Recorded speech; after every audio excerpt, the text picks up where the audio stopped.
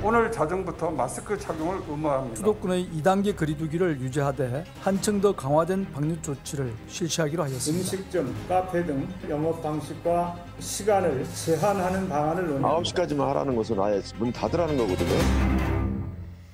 예, 이른바 사회적 거리두기 2.5단계가 시행 중이죠. 짧고 강하게 이 상황을 종료시키자는 게 목표인데, 아, 뭐, 사실은 그렇게 해야죠. 그렇게 해야 큰, 더큰 화를 막을 수 있다는 걸 알기 때문에 우리가 동참은 하고 있습니다만, 고통스러운 건 사실이죠. 제일 고통스러운 사람들은 두말할 나위 없이 자영업자입니다. 예, 비명 소리가 납니다. 그리고 등교가 되나 했는데 또다시 집에 갇히게 된 학생들, 부모님들 이분들 고통, 고통도 이만저만이 아니죠. 여기까지의 고통은 우리가 익히 짐작할 수 있는 장면들인데요. 자, 지금부터는 우리가 미처 생각하지 못했던 분들의 얘기를 좀 드려보려고 합니다. 아, 특별한 두 군데 현장을 연결을 할 텐데 첫 번째 만날 분들은 택배 기사입니다.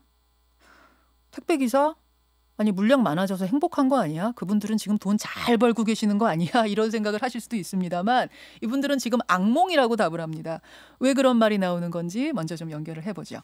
전국 택배연대 노조의 유성욱 사무처장 연결이 돼 있나요? 예, 처장님 나와 계세요. 네, 안녕하세요. 아 처장님도 택배 일을 직접 하시는 거죠? 네, 예. 저 전라도 광주에서 좀 하고 있고요. 음, 몇 년이나 되셨어요? 지금 올해까지 9년째 택배 업무를 하고 있습니다. 9년이나. 코로나 이전에 비해서 물량이 늘었을 거라고 뭐 짐작은 합니다만 어느 정도나 됩니까? 아는 게. 뭐 개인별로 조금씩 차이는 있는데요. 음. 저 같은 경우는 한 30% 증가된 것 같습니다. 30? 코로나 이, 예. 예, 예. 코로나 이전에 이제 한 1월로 보면 하루에 한 250개 정도 배달했는데요. 예. 지금 뭐 최근에 보면 한 300개, 320, 30개 정도 배달하는 아. 걸로 봤을 때, 예. 하루에. 네네. 그러면 몇 시부 몇 시에 일어나서 몇 시까지 근무하시는 거예요? 저희들은 뭐 전국의 택배 노동자들이 다 똑같겠지만 보통 6시 반 정도에 출근해서요. 예, 예. 뭐 분류 작업하고 배송하고 그러면 늦 지금은 한 빠르면 9시 늦으면 뭐 밤 11시까지도 일을 하시는 분도 계시고요. 아이고. 근데 이게 사무실에서 하는 것도 아니고 뛰어다니면서 하시는 거잖아요. 아, 그렇죠. 어, 잠깐 눈 붙이시고 또 나가고. 그 네. 음식 배달하는 분들 얘기도 좀 들어보니까 이 음식점에서 수도권 같은 경우에는 9시 이후에는 저 배달 포장밖에 안 되기 때문에 물량이 상당히 늘었다고 하던데 음식 쪽은 어떻습니까? 저- 저희들은 음식 같은 경우 아이스박스로 오는데요. 네. 뭐 코로나 이전하고 비교해 보면 음, 눈에 띄게 엄청나게 많이 늘어가지고 예, 예. 저희들 물량의 보통 한 30%에서 40% 정도가 음식이 차지하고 있습니다. 아, 그래요. 근데 언뜻 생각하면 배달업 하시는 분들은 지금이 호황이니까 몸은 좀 힘들어도 좀 바쁘긴 해도 기분은 좋으실 것 같다 이렇게 생각들 많이 하시는데 왜 악몽이라 그러시는 거예요? 그러니까 저희들 입장에서 뭐 단기적이고 이 상황들이 좀 일시적이었다면 충분히 또 소화할 수도 있고 또 수입도 늘었기 때문에 좋아했을 것 같은데 음, 이게 지속적으로 7, 8개월째 이렇게 이제 장시간 일을 하다 보니까 예, 예. 그로 인한 부작용이 좀 심각해지는 상황이고요. 어, 저희들이 뭐 쉬지 못하고 하루 평균 14시간 이상씩을 일하고 예, 예. 또 정부에서도 배달을 권장하고 있잖아요. 배달 가능하면 배달로 음식 시켜 드세요. 뭐. 이렇게 예, 네. 예. 그러니까 그로 인해서 물량은 더 늘어나고 음, 그래서 이제 뭐 특히 다가오는 9월이 추석이 있잖아요. 그렇죠. 예, 예. 추석이 이제 코로나 시기가 아닐 때도 3, 40% 정도 물량이 늘어나는 시기인데 예, 예. 어, 이제 추석까지 겹치게 되면 저희들이 이제 정말 이게 감당할 수 있겠느냐 음. 이런 저희들 의아심이 생기는 부분이고요. 과로사로 돌아가신 분들도 계시다면서요? 네, 저희들 올해 저희들이 확인한 바로 현재 일곱 분의 택배 노동자가 과로사로 숨졌는데 어, 2월부터 8월까지 매달 한 명씩 지금 과로사로 숨지고 있습니다. 그래요. 제가 택배 9년째 일을 하고 있지만 이렇게 짧은 시기에 여러분이 과로사로 사망한 거는 처음 있는 일이고요. 음, 음, 저희들 입장에서 9월 달을 맞이하는 게 너무 두렵기조차 하는 상황이고 뭐 이러다 우리도 자다가 죽지 않을까? 허허. 또 그런 배달하다 죽지 정말. 않을까? 음. 뭐 이렇게 굉장히 두려운 상황입니다.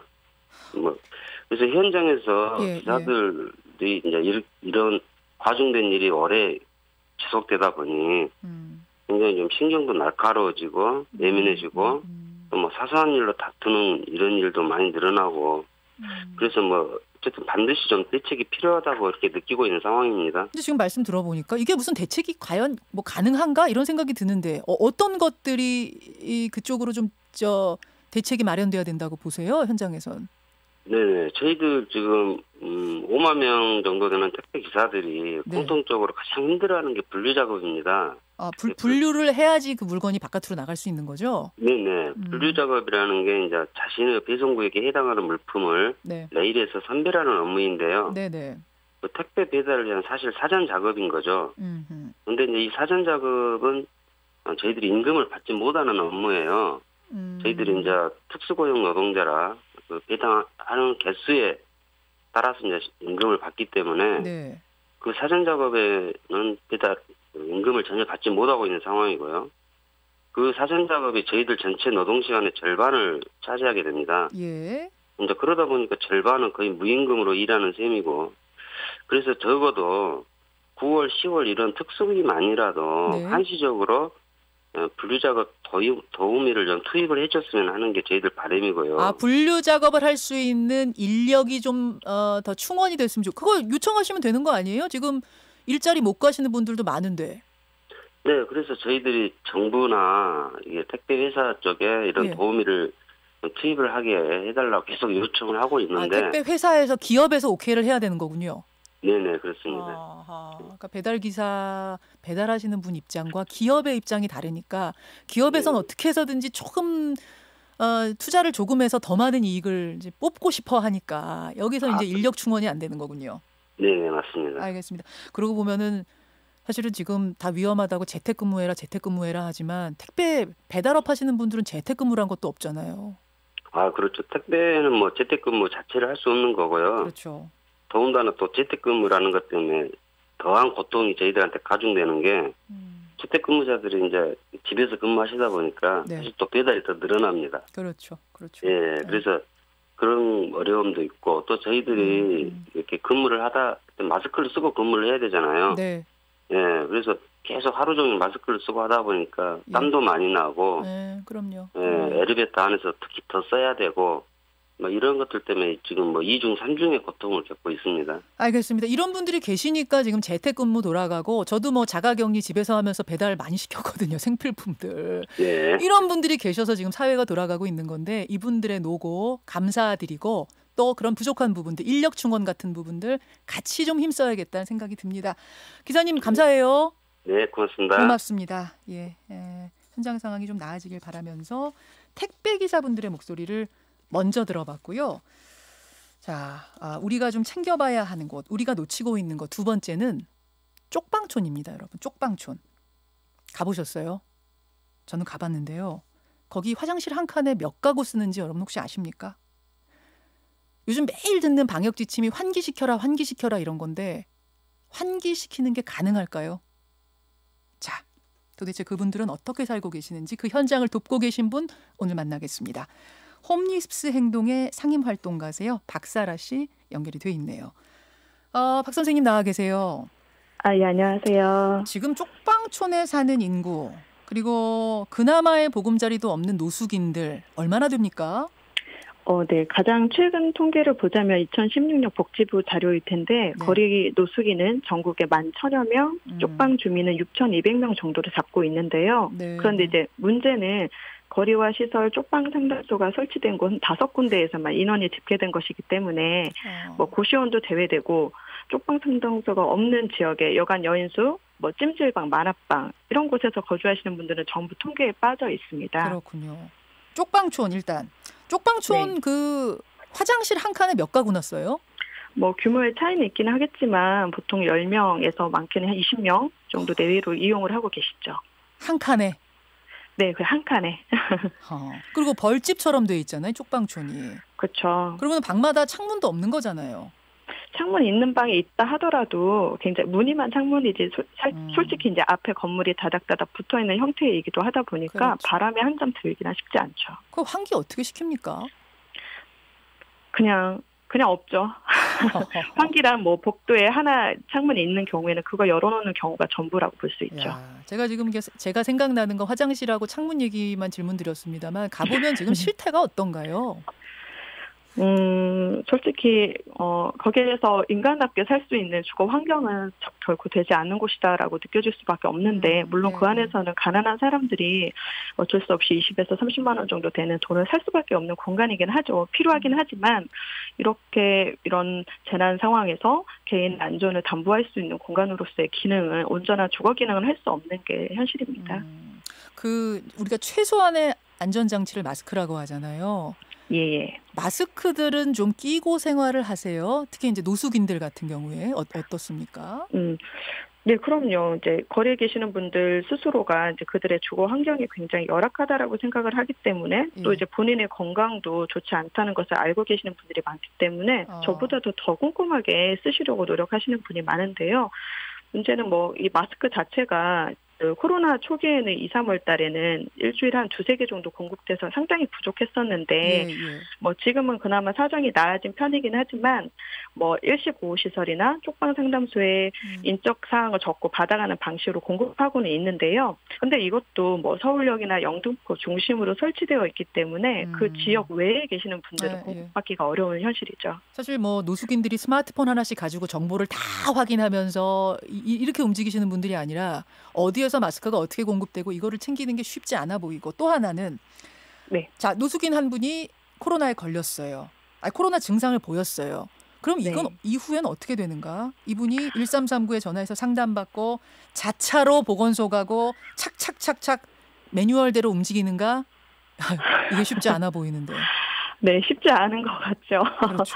뭐 이제 해- 연락처가 말씀하신 것처럼 이제 핸드폰이 다 이- 있는 분도 아니기도 하고 또 스스로 이- 이렇게 광화문 집회 참여자가 아닌 이상 최근에 네. 스스로 검사를 필요로 하다라고 생각을 해서 어, 하게 된다면 검사 비용이라든지 거기까지 가는 차비로 오롯이 본인이 부담을 해야 되는 거거든요. 그렇죠. 그래서 그런 접근하는 것 자체도 상당히 어렵기도 하고 음.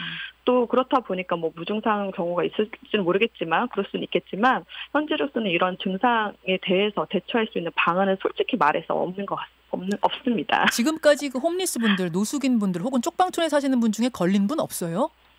아, 네. 공식적인 통계로는 저희도 이제 아는 바는 없지만 다만 서울시에서 지난번에 6월 15일에서 8월 4일까지 예. 노숙인 쪽방 지역 주민 대상으로 코로나 검사를 했었는데 전원 음성이 나온 바 있습니다. 아 직까지는 그런데 다행이네요. 네, 아, 그렇긴 하지만 저희가 확인한 바로는 대구에서 한 사례가 있었고 음. 서울 돈의동 쪽방에서 한 명, 그리고 또 최근에는 인천 내에서 제일 사랑, 아니, 사랑 제일교회를 다녀갔다는 뭐 노숙인 음. 한명 정도가 있는 걸로 알고 있습니다.